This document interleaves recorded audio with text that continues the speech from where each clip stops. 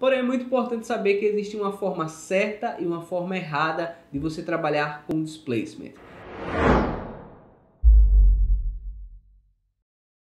Olá, Masterfãs! Bem-vindos ao Master Tuts. Eu sou o Henrique Barros, arquiteto e instrutor dos cursos Master Tuts. Na aula de hoje nós vamos falar sobre o próximo nível de relevo dentro do V-Ray, que é o Displacement. Diferente do Normal Map, o Displacement realmente ele ressalta o nosso objeto em 3D. Porém, é muito importante saber que existe uma forma certa e uma forma errada de você trabalhar com Displacement.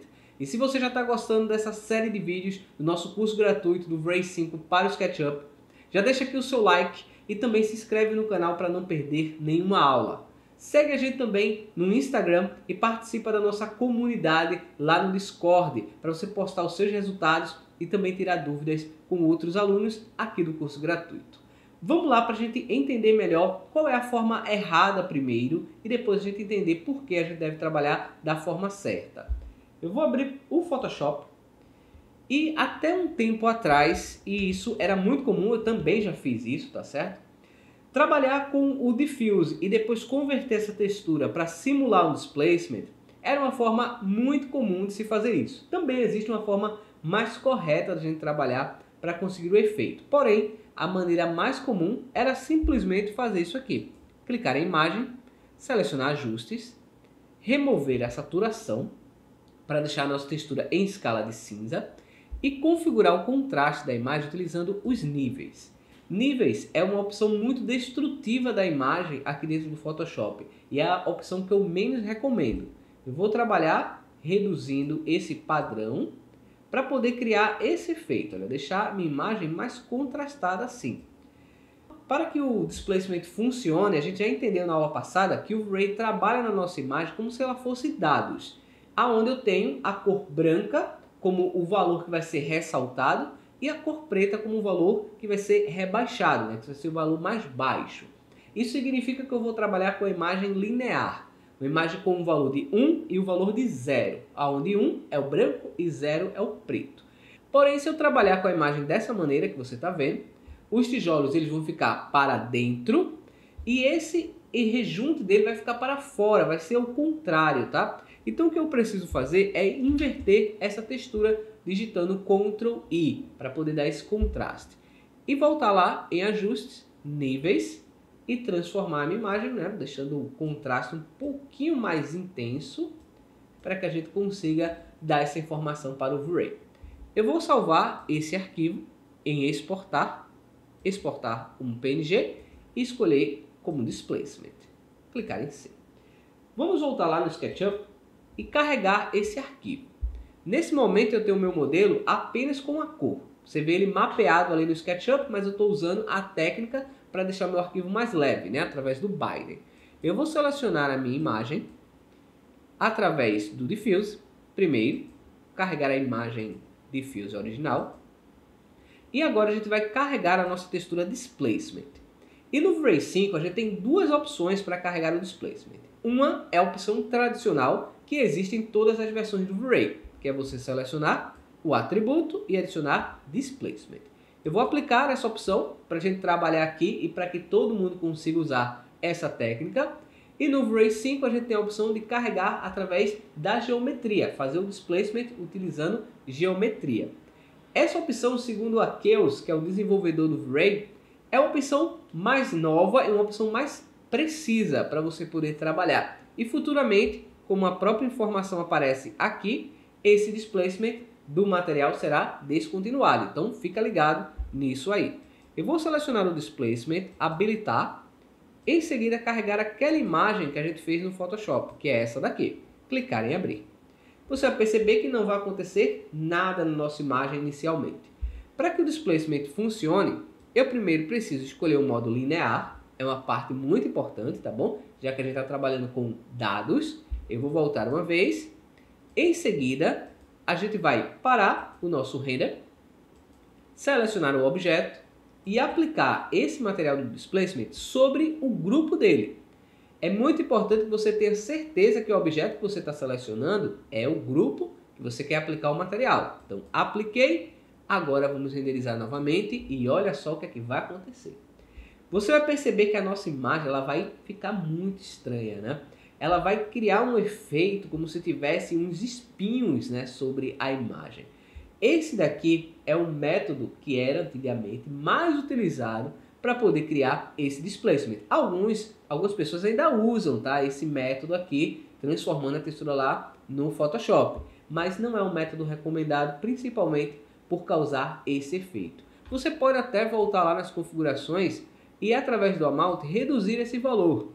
Eu vou colocar o valor vírgula 1, por exemplo, para a gente ver como é que ela vai ficar. E olha só, até deu uma melhorada aqui visualmente, porém a gente ainda continua vendo muitas informações, muitos desses espinhos né, sobre a nossa imagem. E as informações acabam ficando perdidas. Isso acontece porque a nossa imagem lá no Photoshop é uma imagem que tem muitos, mas muitos dados, muitas informações sobre essa imagem original. E você vai perceber que cada pontinho branco que a gente tem aqui, olha, que são os pixels, vão criar aquele efeito pontiagudo lá na nossa imagem. E cada um desses pontos em preto também vão criar isso, só que para baixo. Então a gente tem muito esse efeito, né? Muitos pontos para cima, muitos pontos para baixo, que é o que o Ray está entendendo sobre essa imagem. Isso prejudica muito o nosso tempo de renda.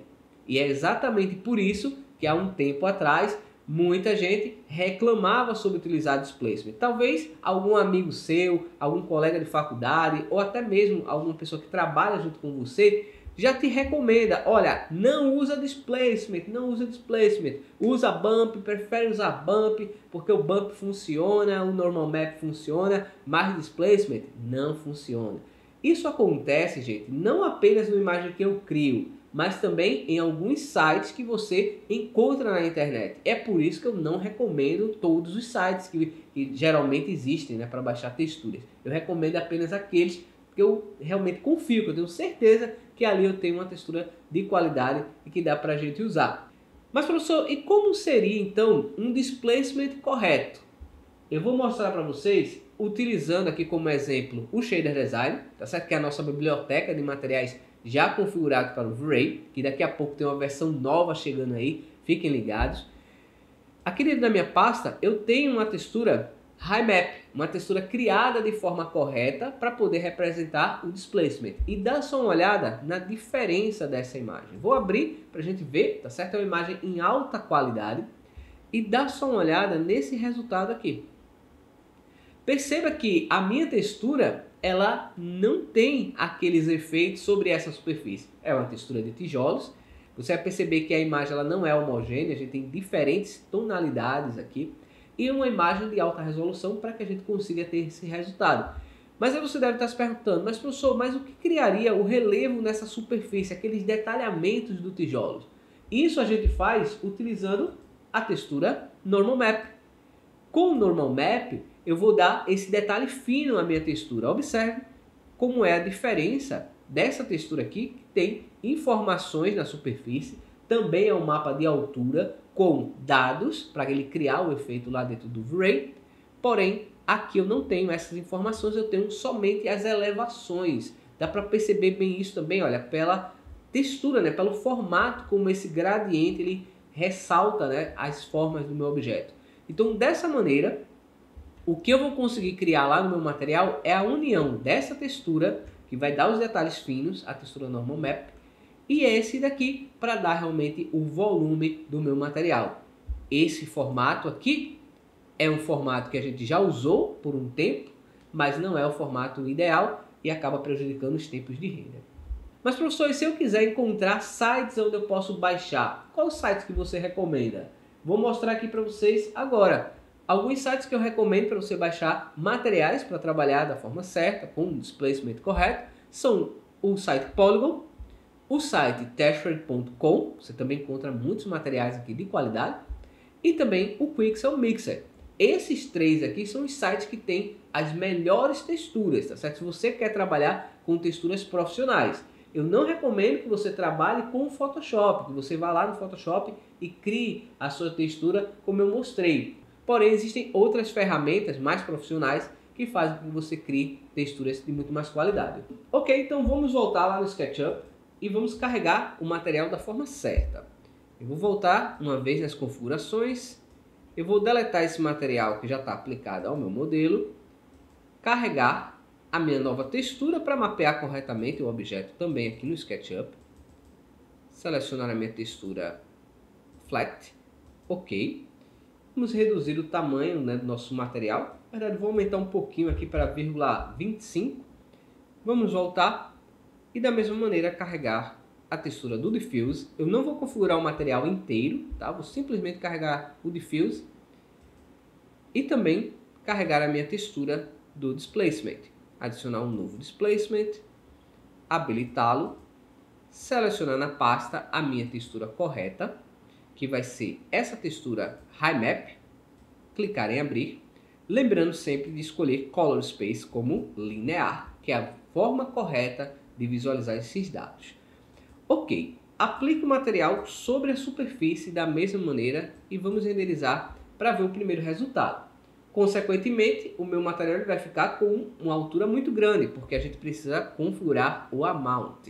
Mas você já consegue perceber que ela tem um desnível, né? Ele vai ondulando aqui a minha textura, né? Não fica tudo igual. Eu vou colocar o valor vírgula 1, foi o mesmo valor que a gente usou antes. E tem algumas informações importantes aqui.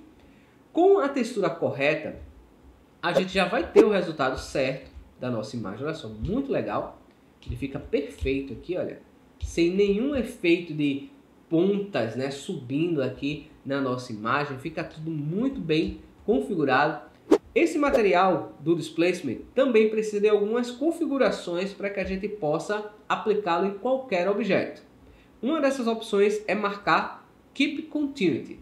Com essa opção marcada, você vai conseguir nas dobras do seu objeto também manter os tijolos ali ou qualquer outro tipo de material que dá esse relevo fazendo efeito. E aqui também a gente consegue perceber exatamente a diferença né, do normal map, que não dá um efeito de volumes no nosso objeto, como a gente tem aqui, e o displacement que dá esse, esse relevo em 3D. Com a textura correta, a gente também consegue ver olha, detalhes que são impossíveis de você ver quando você configura a textura através do próprio diffuse, né? Você pega o diffuse e converte ele como a gente fez. Aqui a gente tem muitos detalhes, olha, da textura que deixa o material muito mais realista. Para finalizar, eu vou até o End Length e vou reduzir esse valor, que se você utilizasse outras opções de displacement, seria realmente um, um risco para você demorar mais o render. Então, com esse valor end length, eu deixo a minha textura mais precisa e vai fazer com que a gente tenha mais detalhamento. Ele vai pegar mais amostras daquela área e deixar a nossa imagem com muito mais qualidade. Claro que essa opção só vai ser visível se você tiver uma vista muito perto, como eu estou fazendo aqui. Se você tiver uma imagem mais distante, você vai ver os volumes dos tijolos, mas não vai ver isso tão intenso, não vai ser tão visível, tá ok? Então, por isso que a gente deve sempre saber exatamente o que é que a gente quer mostrar no projeto. E o mais importante aqui é entender que se o material for configurado da forma certa, você não vai ter tempos elevados de render. Seu render ele vai fluir tranquilamente, você vai ter um tempinho a mais ali para ele gerar o displacement, mas não vai ser nada muito grande, tá certo? Então é isso aí, eu espero que você tenha gostado dessa aula. Se inscreva no canal, ative as notificações para não perder nenhum vídeo. Muito obrigado mais uma vez por ter assistido um forte abraço e valeu!